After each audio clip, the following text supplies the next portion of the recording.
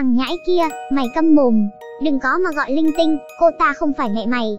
Thời khắc nghe thấy giọng nói của lão Triệu Nha vang lên, tôi nhìn vào lão, gằn giọng lên tiếng. Ông nói cái gì? Lông mày của lão Triệu Nha hơi nhíu lại.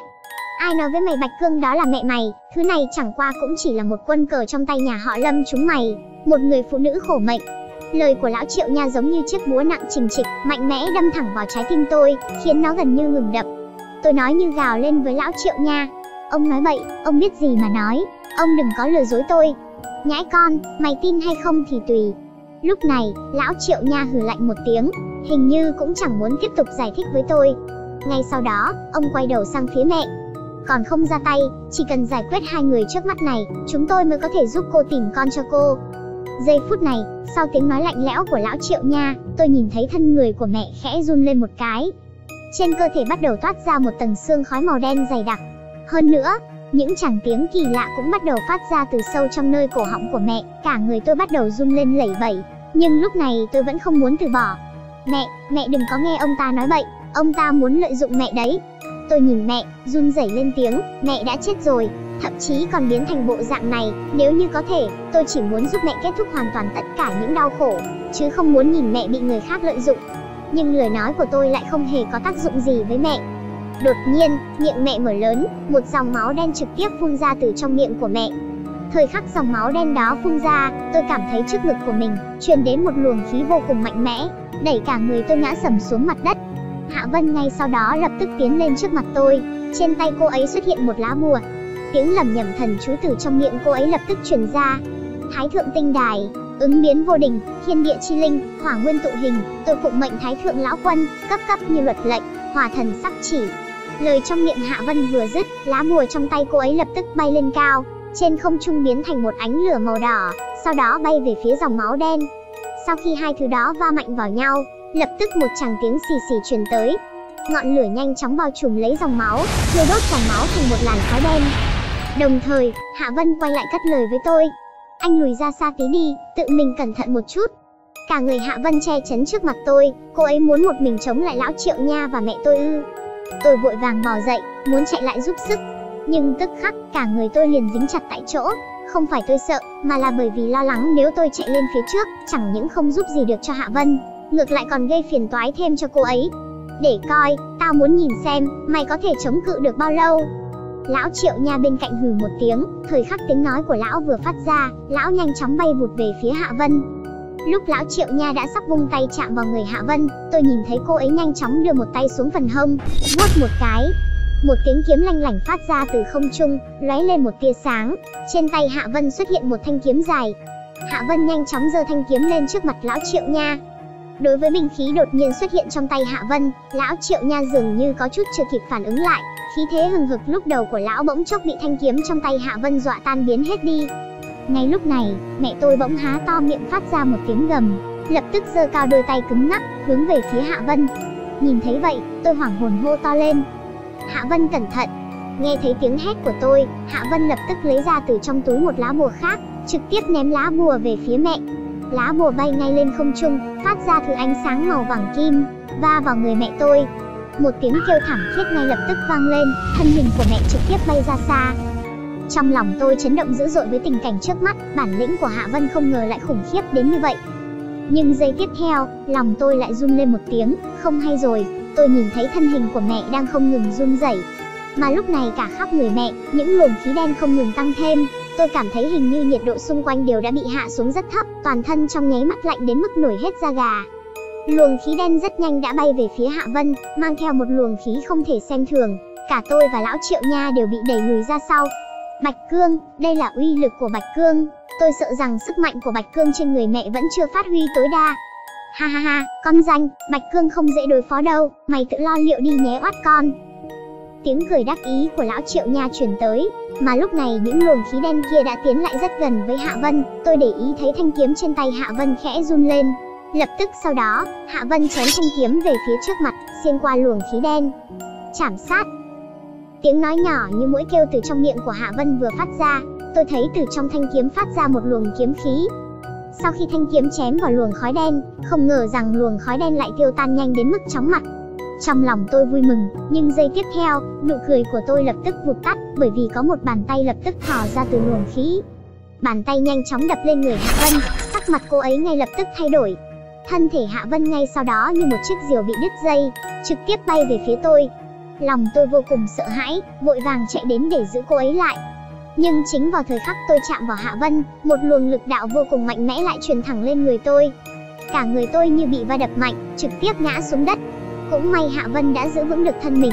Có điều ngay sau đó, tôi thấy Hạ Vân quỳ một gối xuống đất, trong miệng cô ấy phun ra một dòng máu tươi. Sắc mặt của cô ấy cũng trở nên tái nhợt, Hạ Vân bị thương rồi, trong lòng tôi nóng như lửa đốt, trực tiếp chạy ngay đến bên Hạ Vân, quỳ xuống. Hạ Vân cô sao rồi, có bị làm sao không? Hạ Vân im lặng một hồi rồi cũng lên tiếng. Bạch Cương quả nhiên danh bất hư truyền, loại lực đạo này thực sự không phải là khủng bố bình thường. Lời nói kinh ngạc này của Hạ Vân khiến tôi vô cùng lo lắng. Bây giờ cô ấy bị thương rồi, đối phương trước mặt là lão Triệu Nha và mẹ đều rất mạnh, tôi lại không thể giúp đỡ được gì. Nhưng lúc này, mẹ tôi hình như chẳng chút hứng thú với tụi tôi, trực tiếp đưa mắt nhìn lão Triệu Nha. Con ta đâu? Đôi mắt của mẹ nhìn chân chân vào lão Triệu Nha, giống hệt với ánh mắt nhìn chúng tôi, không chút cảm xúc nào. Tôi cũng từ trong ánh mắt của lão Triệu Nha nhìn thấy một tia sợ sệt, lúc này, lão ta vội vàng chỉ về phía quan tài của ông nội, lên tiếng. Con trai cô ở bên dưới, đào ngôi mộ này lên, cô có thể nhìn thấy con cô rồi. Tiếng nói của lão Triệu Nha vừa rơi xuống, cả người tôi phẫn nộ trực tiếp đứng thẳng dậy, bên dưới quan tài quả là có thứ gì đó. Không sai. Nhưng lão Triệu Nha lại cứ như thế mà dùng loại thủ đoạn này để lừa gạt sự tín nhiệm của mẹ. Từ đó muốn thông qua mẹ để diệt sạch chúng tôi. Khốn nạn, ông là thứ bỉ ổi vô liêm sỉ, tự thêu tự dệt. Lão ta rõ ràng đang lợi dụng điểm yếu duy nhất của mẹ là đứa con. Có điều lúc tôi vừa nói xong, lão Triệu Nha nhìn bọn tôi, ánh lên vẻ khinh thường, giọng nói u ám của lão truyền ra, Ta không nói dối, bị đè bên dưới cổ quan tài của ông nội mày, quả thực là con của cô ta. Đôi mắt của tôi nhìn chằm chằm vào lão Triệu Nha, cảm nhận được từ trong mắt của lão, dường như lão thực sự đang nói thật. Lão ta lại lên tiếng với mẹ tôi. Cô trông chừng hai đứa kia, để tôi đào. Nhớ, thằng nhãi kia không được chết, bằng không con trai cô sẽ gặp nguy hiểm. Tiếng nói của lão Triệu Nha truyền ra, tôi nhìn thấy cảm xúc trên mặt mẹ, không hề thay đổi chút nào, nhưng lại nghe lời, gật đầu với lão Triệu Nha. Không ngờ mẹ tôi thế mà lại hiểu được tất cả, nhưng tại sao mẹ lại không nghe lời tôi? Lẽ nào, Bạch Cương này thực sự không phải mẹ tôi sao? Tất cả những việc này chuyển biến quá nhanh, khiến tôi không có cách nào tiếp cận nổi, cảm xúc trong lòng tôi hỗn độn vô cùng, cảm thấy bản thân thật vô dụng. Lão Triệu Nha đã bắt đầu vung quốc, tiếp tục đào mộ của ông nội tôi lên, tiếng quốc đập vào đất từng tiếng từng tiếng rót vào tay tôi. Lúc này tôi tuyệt đối không dám động đậy, Bạch Cương trước mặt vẫn đang nhìn chằm chằm vào bọn tôi, Hạ Vân bên cạnh hình như đang trị thương. Nếu tôi làm trò linh tinh, Bạch Cương tuyệt đối sẽ động tay với chúng tôi, đến lúc đó tôi bị thương là việc nhỏ. Nếu như lại liên lụy đến Hạ Vân đang trị thương khiến cô ấy tiếp tục chịu thêm đả kích, vậy tình hình chỉ càng thêm nghiêm trọng. Nhìn lão Triệu Nha từng quốc từng quốc vung xuống mộ phần của ông nội, trái tim tôi như thắt lại, nghiến răng nghiến lợi. Lão già chết tiệt này, không ngờ lão ta lại không chút kinh sợ nào, Tôi hối hận không thể trực tiếp xông lên, liều mạng một sống một còn với lão ta. Nhưng tôi biết, tôi không thể và không nên như vậy. hình Đột nhiên, một âm thanh giống như tiếng quốc đập vào nắp quan tài vang lên. Trái tim tôi cũng theo đó mà đập nhanh hơn, trong lòng tôi lột bột một tiếng. Chết rồi, đào tới cổ quan tài rồi. Không lâu sau, tôi nhìn thấy lão triệu nha khom người xuống, bất ngờ một tiếng hô từ trong miệng lão phát ra. Chết rồi, tại sao lại đứt mất rồi? Tôi không hiểu lời của lão già này là ý gì. Nhìn vào Bạch Cương trước mắt, ánh mắt của cô ta vẫn chưa từng rời khỏi tôi và Hạ Vân, sắc mặt của Hạ Vân vẫn đang rất khó coi, xem ra bị thương không hề nhẹ. Sau đó, chính vào giây phút này, một âm thanh trầm đục đột nhiên vang lên. Thùng! Thời khắc âm thanh này truyền tới, cả người tôi đưa ra, vội vàng nhìn về phía phát ra âm thanh này. Giây tiếp theo tôi phát hiện, âm thanh đó truyền ra từ trong quan tài của ông nội. Lúc đầu tôi cho rằng có lẽ bản thân đã gặp ảo giác, nhưng khi nhìn thấy thân thể cứng ngắt không một lời nói của lão Triệu Nha bên cạnh, tôi mới biết bản thân không hề nghe nhầm. Thùng! Lại là một tiếng nữa vang lên, lần này càng rõ ràng hơn, chính xác là tiếng động từ trong quan tài ông nội, âm thanh giống như có người đang từ bên trong, dùng tay gỗ lên trên nắp quan tài. Lúc này, tôi nhìn chằm chằm vào lão Triệu Nha, phát hiện khi âm thanh đó truyền ra, cả người lão ta đang run lên cầm cập, cứng đờ tại chỗ, không hề tiếp tục động tác nào nữa. Lúc này, Bạch Cương cũng cảm nhận được động tĩnh, đi tới bên cạnh lão Triệu Nha. Thùng! Lại là một tiếng vang nữa. Hơn nữa lần này tôi có thể cảm nhận được, ngay cả nắp quan tài cũng bật lên một chút. lão Triệu Nha lần này đột nhiên đứng thẳng người lên. Đôi mắt của Bạch Cương nhìn vào lão Triệu Nha trước mặt, sắc mặt của lão ta cũng trở nên u ám, lên tiếng nói với Bạch Cương. Thứ này muốn ra ngoài, chúng ta trốn đi trước đã, đến lúc đó tìm biện pháp khác. Sau đó, đối với lời nói của lão Triệu Nha, Bạch Cương vẫn giữ nguyên khẩu miệng lạnh nhạt, tiếng nói khàn khàn lập tức lại vang lên. Con ta, con của ta. Vừa nói, Bạch Cương vừa đưa tay chỉ vào quan tài của ông nội, thật ra hướng cô ta chỉ xuống là thứ nằm dưới quan tài ông nội, trong lòng tôi bỗng chốc kinh sợ, lẽ nào, thứ bị đè dưới quan tài của ông nội thực sự là con trai của Bạch Cương sao? Đồng thời cũng là vị chính chủ trong miệng ông Văn. Nhưng rốt cuộc có liên quan gì trong chuyện này? Bạch Cương không phải là mẹ tôi, hiện tại lại có thêm một đứa con của cô ta, chính là chủ nhân của ngôi mộ nhỏ. Lúc này tôi nhìn thấy trong mắt của lão Triệu Nha đã xuất hiện một tia hoảng loạn, lão cất lời trông rất vội vàng. Mau đi thôi, nếu như cô muốn con cô không xảy ra chuyện gì.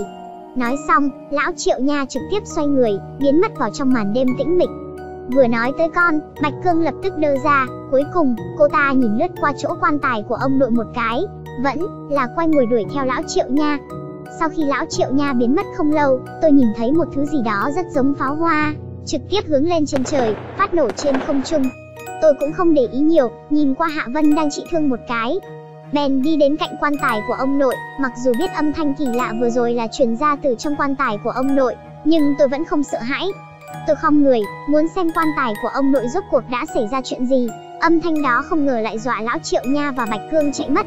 Vậy là lão Triệu Nha sợ ông nội tôi, trong lòng mang theo rất nhiều nghi hoặc, tôi ngồi xổm xuống và chờ đợi ở bên cạnh quan tài, nhưng ngồi rất lâu, tôi vẫn chẳng nghe thấy âm thanh nào giống như lúc trước truyền ra. Tôi nhìn thấy tấm vải đỏ, buộc quanh quan tài của ông nội lúc này đã bị đứt đôi. Tôi nhớ thứ này lúc đầu là do lão Triệu Nha buộc lên quan tài của ông nội. Mặc dù không hiểu tác dụng gì, nhưng chắc chắn lão già Triệu Nha kia tuyệt đối không vô duyên vô cớ buộc nó lên trên quan tài. Hơn nữa, tôi đột nhiên nghĩ đến tiếng hô lúc nãy của lão ta, xem ra thứ lão kinh ngạc chính là tấm vải này. Chính vào lúc này, tôi thấy Hạ Vân đã đứng bên cạnh mình. Sắc mặt của Hạ Vân đã tốt hơn rất nhiều, nhưng chắc cô ấy vẫn chưa khỏi hẳn. Đây là vải buộc thi, thứ đồ chuyên dụng của những người cản thi. Giữa lúc cản thi, dùng tấm vải này buộc lên thi thể. Chỉ cần vải không đứt, thi thể sẽ không xảy ra chuyện gì. Tôi nghe lời của Hạ Vân liền gật đầu, chính vào lúc tôi đứng thẳng người dậy, đột nhiên một tiếng soạt soạt truyền tới từ đằng sau.